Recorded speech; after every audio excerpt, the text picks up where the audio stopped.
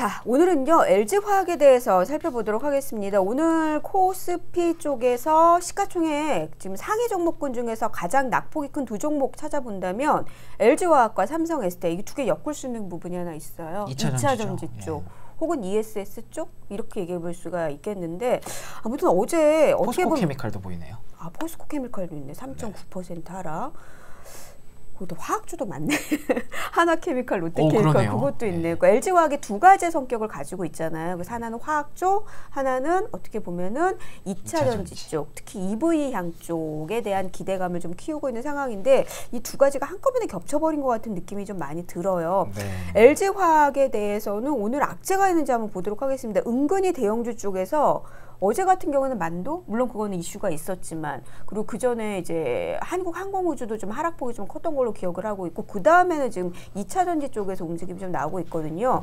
이거 상승하는 쪽도 섹터별로 순환하더니 하락하는 것도 섹터별로 순환하는 건지 아니면은 다른 좀 나쁜 이슈가 있었는지 한번 보도록 하겠습니다. 오늘 나온 얘기는 뭐가 있어요? 뭐 이슈라고 하기에는 좀 그렇고요.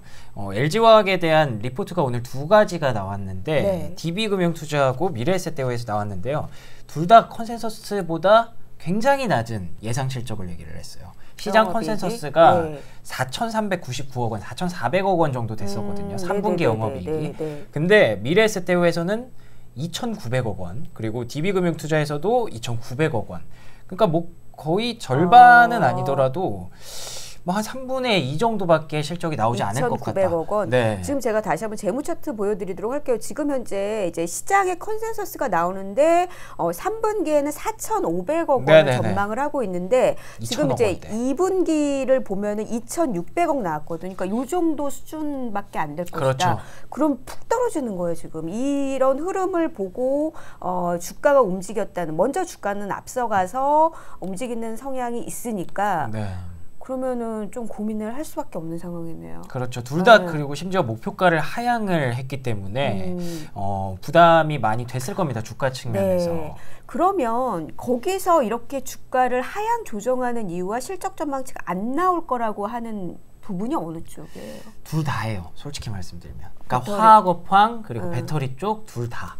어 그래요? 네, 화학업황 네. 자체에 있어서는 어, 워낙에 지금에서야 좀 뭐 13거래일 연속 상승 이런 얘기가 나오지만 워낙에 시황이 안 좋았잖아요. 3분기 음, 내내. 음, 음. 어, 7, 8, 9월을 다 따져봤을 때 8월에는 정말 좀, 좀 화학업종 자- 심했죠. 가- 자체가 지금 보니까 하락 종목중 롯데케미칼 순수 쪽이고요. 네. 하나케미칼도 물론 태양광 쪽이 있긴 하지만 이쪽도 화학주라고 보게 된다면 지금 석유화학 쪽의 업황이 실적 전망치가 좀 안 좋은 모양이에요. 네, 이들도 많이 그렇습니다. 내려가는 걸 보니까. 네, 시황이 어. 전체적으로 안 좋았고 그리고 중국과 미국이 한창 싸울 때였잖아요. 음, 음, 그렇기 때문에 이제는 중국이 뭐 좀 좋아진다 그리고 화학업황도 좋아질 것이다라고 얘기가 나오고 있지만 3분기 실적 자 체는 많이 안 좋았을 것으로 예상이 되고 있고 LG화학만 놓고 보자면 폴란드 쪽에 공장을 새로 지었는데 네. 아직까지도 수율 문제가 해소가 되지 않고 있다고 그거는 합니다. 2차 전지 쪽인데. 아 그러네요. 네, 예, 네, 2차 화학업황. 전지 쪽이 예예 예. 어, 그러다 보니까 수익이 안. 나오고 있다는 네. 얘기구나. 예, 그러니까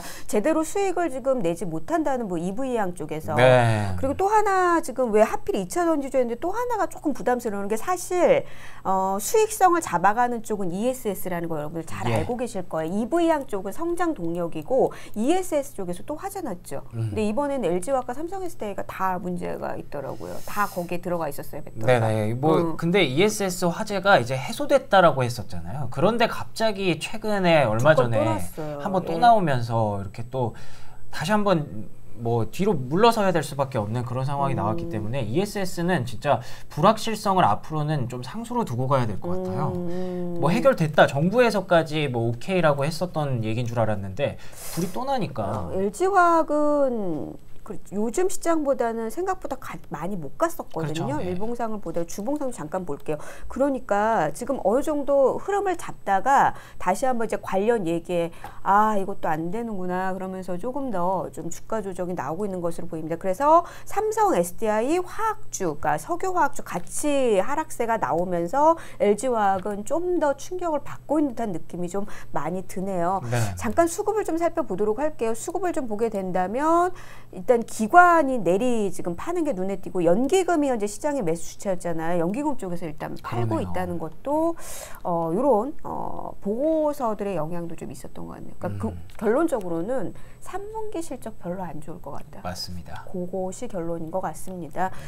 어, 시간이 좀 됐는데 그러면 실적에 대한 이야기가 아, 그리고 목표 주가가 하향되는 부분에 증권사 리포트가 좀 영향이 있었던 것 같으니까 요걸로 정리를 해보도록 하죠. 네, 보겠습니다. 미래에셋대우에서 오늘 나온 리포트인데요. 성장통이라면서 세 가지 악재를 제시를 했습니다. 우선 배터리 부문에서는 말씀드렸던 유럽 배터리 공장의 수율 개선이 어, 지연이 되면서 비용 증가와 매출 성장에 부진이 나타났고 ESS 쪽에서도 최근 두 건의 화재가 재발하면서 관련 매출이 기대보다 약할 것이라고 전망했습니다. 최근에 시황이 악화되면서 화학 부문의 둔화폭이 확대됐고 3분기 실적 컨센서스를 하회할 것으로 예상을 했는데요. 투자 의견을 매수로 목표가를 46만 원으로 하향을 했습니다. 그런데 또 추가적으로 말할 수 있는 게 단기적으로 조정을 받을 수 있기 때문에 이런 리포트를 낸 거지 뭐 구조적인 문제는 음. 아니다라고 덧붙였거든요. 네. 지금 뭐 댓글에서 태촌 선생님께서 어, 왜 하필 오늘 2차 전지죠? 뭐 전기차 뉴스는 전부터 나왔어요. 이런 얘기들을 쭉 하고 계신데 뭐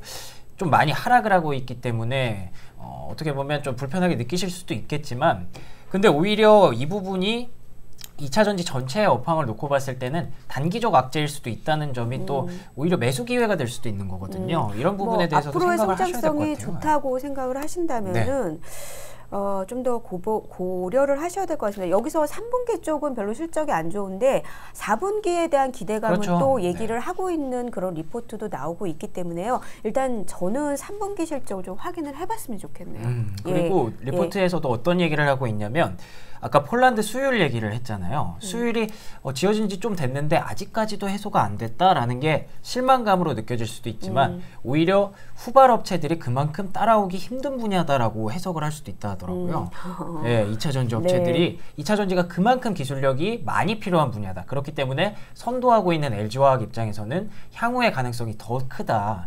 뭐 이런 부분으로 해석할 수도 있다고 아, 하더라고요. 어쨌든 여, 여기도 있고 여기도 있고 두 가지 양립할 때는 요즘 시장에서는 대체적으로 일단 한 발 물러서는 경향이 좀 강하거든요. 음. 그런 측면에서 단기적으로의 좀 조정의 움직임이 좀 나오고 있는 것 같습니다. 일단 3분기 실적 확인을 하고요. 그리고 네. 그때 아마 또저 기업 IR 할 거잖아요. 컨퍼런스 콜을 할 거잖아요. 그러니까 그런 점에서 얘기도 다시 한번 좀 정리를 해봐야겠네요. 네. 일단은 LG화학은 좀 오늘 부담을 좀 많이 느끼는 것 같습니다. 어, 주요한 그 산업의 두 가지 쪽에서 모두 다 안 좋은 얘기가 나오면서 이렇게 흐름이 좀 나오는 것 같네요. 네. 요건 좀 아쉽네요. 예, 네. 알겠습니다. 자, 오늘은 여기까지 해보도록 하겠습니다.